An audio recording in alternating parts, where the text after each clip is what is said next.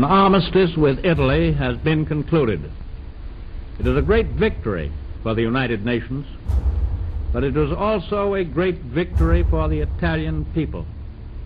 After years of war and suffering and degradation, the Italian people are at last coming to the day of liberation from their real enemies.